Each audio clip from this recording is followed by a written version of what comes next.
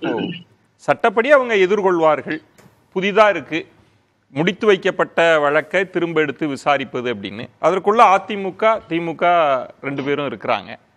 இது இந்த இது நெருக்கடியா மாறாதுன்றதை எப்படி இல்லை முதல்ல ஒரு அருணன் அவர்கள் சொன்ன ஒரு விஷயம் முடிச்சு வைக்கப்பட்ட வழக்குகளை எடுக்கலாமா அப்படின்னு கேட்டால் CrPC three ninety seven four not ஒனில் சூப்பரண்டன்ஸ் பவர் வந்து லோயர் கோர்ட்டில் என்ன தவறு நடந்தாலும் ஹை கோர்ட் எப்போ வேணாலும் தலையிடலாம். அதுக்கு வரம்பு கிடையாது கால வரம்பு அதாவது மறுக்கல.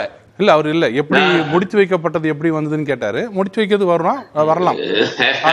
அந்த இடத்துக்கு அவர் வரல. எடுத்துக்கட்டும். இல்ல எடுத்து எடுத்துட்டு எப்படி face பண்ணுவாங்க. இல்ல முடிச்சதுக்கு இத்தனை நாள் பொறுத்து எடுத்தீங்களான்னு கேட்டாரு. திமுக கூட இவ்வளவு வலிஞ்சு கட்டி வராது போல இருக்கு. அண்ட் ஒரு பேராசிரியர் அருணன் அவர்கள் வந்து நீ ரொம்ப யோகியமா? இவங்களை கேட்கலாமா? அவங்கள கேட்கலாமா? நீங்க சொல்லலாமா? அண்ணன் எல்லாம் சொல்லலாங்களே ஒன்றும் பிரச்சனை இல்லை. அண்ணாமலை அவர்கள் ஏன் சொல்றாருன்னா செந்தில் பாலாஜி அவர்களை அரெஸ்ட் பண்ணா மட்டும் நாங்க சொல்லலை. செந்தில் பாலாஜி அரெஸ்ட் பண்ணி அவர் மேலே இருக்கிற குற்றத்துக்கு முகாந்திரம் உண்டுன்னு சுப்ரீம் கோர்ட் வரைக்கும் போய் அது இருக்குன்னு இன்னும் ஜெயிலில் இருக்கிறதுனால. அதுவும் வந்து பிஎம்எல்ஏ ஆக்டில் இடி அரெஸ்ட் பண்ண விஷயத்தில் உங்கள் முகாந்திரம் இருந்தால் தான் உள்ளே வைக்க முடியுன்றது எல்லாருக்கும் தெரியும். அது நீங்கள் சொன்னீங்க. இன்னொன்று வந்து ரொம்ப அழகாக போகிற போக்கில் ஏழரை லட்சம் கோடி சிஏஜி ரிப்போர்ட் நீங்கள் ஆமாம். சிஏஜி ரிப்போர்ட் ஒன்னே முக்கால் லட்சம் கோடி கடன் இது கொள்ளையடிக்கப்பட்டதுன்னு அந்த காலத்தில் காங்கிரஸ் சொன்னது. சிஏஜி ரிப்போர்ட்டை வச்சு மட்டுமே ஆராசா உள்ளே போலீங்க. கனிமொழி உள்ளே போல. அதற்கப்புறம் நாங்கள் வழக்கு தொடர்ந்து சுப்ரீம் கோர்ட்டில் டைரக்ஷன் வாங்கி உள்ளே போங்க தள்ளுங்க. கேஸ் ரெஜிஸ்டர் பண்ணுங்கன்னு சொன்னாங்க. உங்களை எது தடுத்ததுன்னு தெரியல இது வரைக்கும் எல்லா டிவிலையும் பேசிட்டு இருக்கீங்க. ஏழரை லட்சம் கோடி ஒன்பது லட்சம் கோடின்னு சிஏஜி ரிப்போர்ட் கையில் இருக்குல்ல. ஏன் தாராளமாக சுப்ரீம் கோர்ட்டில் போயிட்டு இந்த மாதிரி ஒரு தவறு நடந்திருக்குன்னு சொல்லாமே அது யாரும் சொல்ல மாட்டீங்க. ஏன்னா இதை வச்சுக்கிட்டே நம்ம பண்ணோம். அதில் என்ன கேஸ் இருக்குது உள்ளே வெளியில் வந்துடும் இந்த கேஸுக்கு வருவோம். சரி வாங்க அதுதான் முக்கியம். மொத்தம் அல்ல அவர் பேசும்போது அவர் சொல்லு அவர் முக்கியம் வாங்க. அவர் சொல்லும்போது சொல்லலையே அதான் கேட்டேன். இல்ல, இல்ல, நான் உங்களை குறுக்கிடவே இல்ல. மொத்தம் ஆறு ஆறு கேஸ் இருக்கு. ஆறு பேர் மேல போட்டிருக்காங்க. ஐ பெரியசாமி அவர்கள் Thangam Thennarasu K K S Ramachandran OPS Valarmathi இவங்க எல்லார் பேர்லயும் இருக்கு. பொன்முடி எல்லாருமே இருக்கு. இதுல என்ன முக்கியமான விஷயம்? மக்களுக்கு தெரிய வேண்டிய ஒரு விஷயம் என்னன்னா ம், இதுக்கு முன்னாடி பொன்முடி அவர்கள் கேஸ் நடக்கும்போது அவரை நேரடியாக அந்த விசாரணை முடிஞ்ச உடனே அவரை நேரடியாக கூப்பிட்டு சென்டென்ஸை பத்தி கேட்டுட்டு அப்படியே அவர் வந்து எல்லாமே ரிவிஷன் சீராய்வு. இதுல வந்து எந்த கோ இந்த கோர்ட் நினைச்சா கூட தண்டனை கொடுக்க முடியாது. ரீட்ரையலுக்கு திருப்பி அனுப்பலாம். அதே கோர்ட்டுக்கு திருப்பி அனுப்ப முடியும். அந்த கோர்ட் திருப்பியும் போய் முதல்ல இருந்து சாட்சிகள்லாம் விசாரிக்கணும் எல்லாம் சொல்லியிருக்கிறது இப்போ டெய்லி அடுத்த வாரத்துலேருந்து போட்டிருக்காரு. இதுல முக்கியமான விஷயம் என்னன்னா அவர் சொல்றது பிளேட்டன் டெரர் அதாவது பார்த்த உடனே ஒரு விஷயத்த வந்து இப்போ சாதாரணமாக யாராவது படிச்சாங்கன்னா சில விஷயம் புரியாது வழக்கறிஞர்களுக்கு மட்டும் புரியும்னு சொல்கிறது சில விஷயங்கள் இருக்கும்.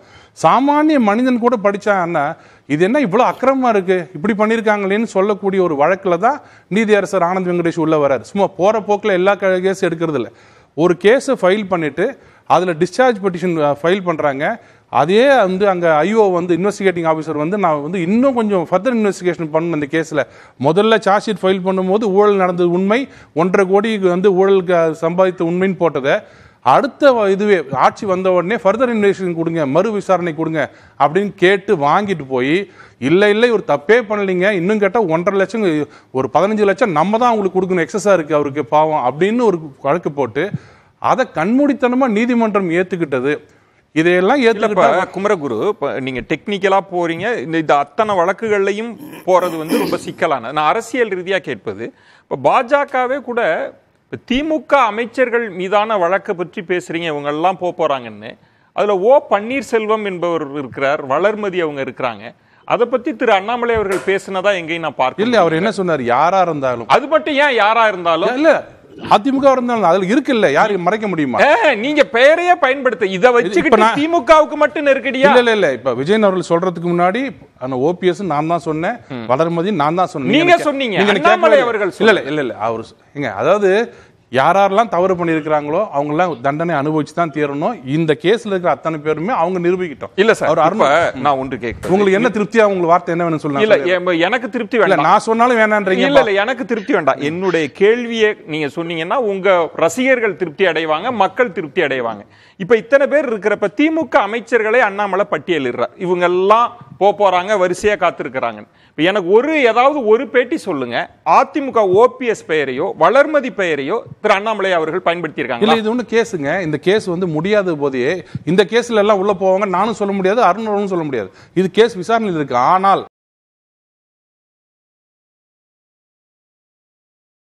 வருஷத்துல திமுக சொல்ற ஒரு ஒரு விஷயமும் அதிமுக ஊழல் கட்சி அதிமுக வந்து தண்டனை பெற்ற கட்சி ஜெயலலிதா தண்டனை பெற்றார் செல்வ கணபதி தண்டனை பெற்றார் கண்ணப்பன் தண்டனை பெற்றார் மதுசூதனன் தண்டனை பெற்றார். எங்க கிட்ட ஒருத்தரை காமிக்க முடியுமா?